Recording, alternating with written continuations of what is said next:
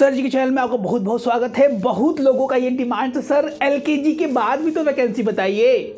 You UKG की vacancy कब आएगी? क्लास वन की वैकेंसी क्या कब आएगी? Class two, three, four, five, six, seven, eight और ना जाने कितने सवाल जो हमारे चैनल्स पे जो आपका प्यार शो करता है, इसके लिए बहुत बहुत धन्यवाद। तो लेट्स साइड इन हम आज बहुत ही इंपॉर्टेंट विषय पर बात करने वाले हैं। Vacancies for the upper classes यानी क्लास टू की vacancy class four five six से लेके जितने भी इंपॉर्टेंट स्कूल से जैसी वैकेंसी उनकी आउट होगी, हमारे चैनल्स पे आपको उसका देने का प्रयास किया जाता है और किया जाता रहेगा।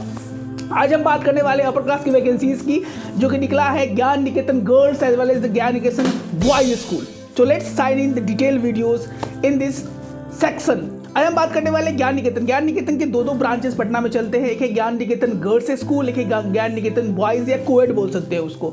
जो गर्ल्स स्कूल है स्पेशली इसमें बच्चे भी पढ़ते हैं जूनियर क्लासेस में, ये आसियाना दीघा रोड के बगल में घुड़दौर रोड है, उसके बगल में आपको मिलेगा दैट इज़ कॉल्ड ये आपको आचार्य कुणाल किशोर पथ के नाम से जाना जाता है। वहाँ पे आपको यहाँ पे मिल जाएगा उसका फ़ोटो वहाँ पे ये स्कूल की वैकेंसी निकल चुकी है।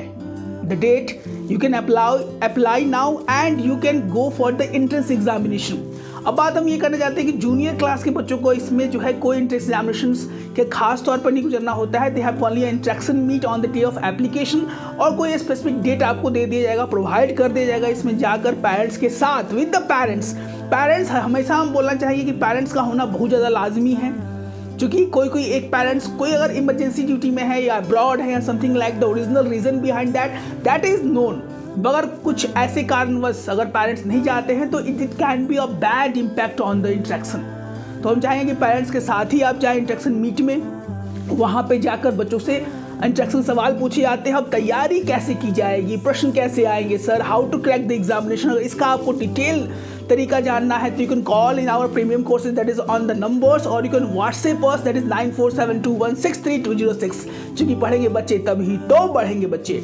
इसके बाद जो next section that is called the Gyan Niketan girl की वैकेंसी आउट हो गई है।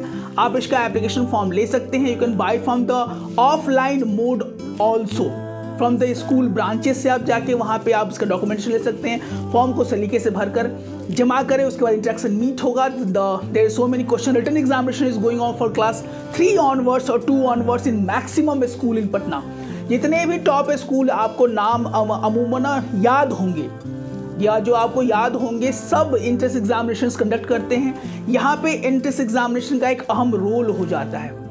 सवाल आते हैं, किस तरह के सवाल आते हैं प्रैक्टिस कैसे करनी होगी सर मैथ्स में किस तरह के सवाल आते हैं? हिंदी में किस तरह के सवाल आते हैं? इंग्लिश में किस तरह के सवाल आते हैं? If you are need to know about that अगर आपको इस तरह की जानकारी चाहिए तो लेट ना करें बिकॉज़ सफलता हासिल करने के लिए परिश्रम तो जान लगा कर करनी पड़ती है। आई रिपीट सफलता हासिल करने के लिए परिश्रम, जान लगा के करनी पड़ती है। If you need to know how to crack the examination in very precise manner call our numbers and be in Patna top school अब ये बात है कि सर कौन कौन से स्कूल की वैकेंसी टॉप क्लासेस की निकलने वाली है सीनियर क्लासेस की निकलने वाली है?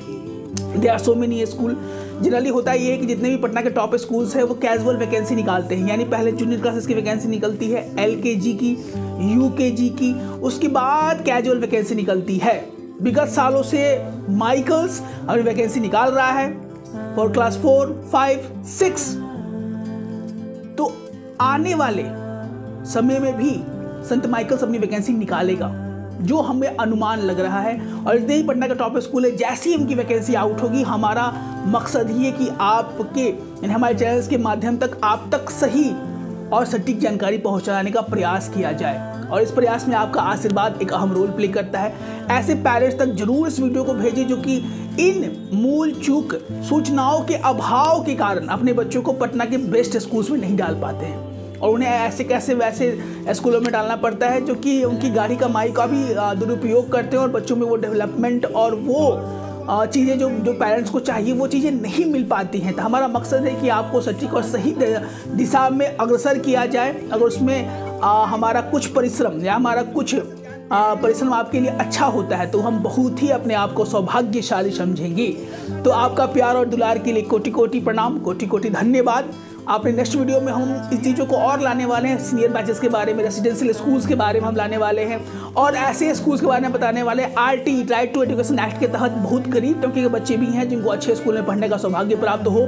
इसके लिए हम ऐसे स्कूल का लिस्ट भी आपको बता, बताने वाले हैं जिसमें आरटीई के तहत एडमिशन होता है। आरटीई वाला अगर वीडियो आपको पूरा देखना हो कि आरटीई क्या है आरटीई में कैसे बच्चों का एडमिशन हो सकता है तो आप इस वीडियो पर क्लिक करके देख सकते हैं। आरटी बहुत ही अच्छा एक पॉलिसी जो गवर्नमेंट ऑफ़ इंडिया की तरफ़ से निकाला गया है। राइट टू एजुकेशन एक्ट बोलते हैं, जिसमें पटना के जो भी ब्रांडेड स्कूल है, उसमें 25 परसेंट सीट्स रिज़र्व होती हैं। उस रिजर्वेशन में आपका हक हक मारी ना हो, इसका आपको ध्यान रहे।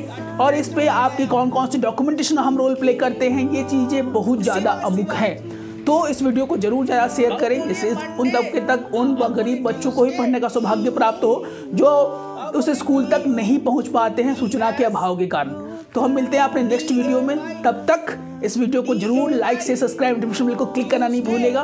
क्योंकि पढ़ेंगे बच्चे, तभी तो बढ़ेंगे बच्चे। जय हिंद, जय भारत।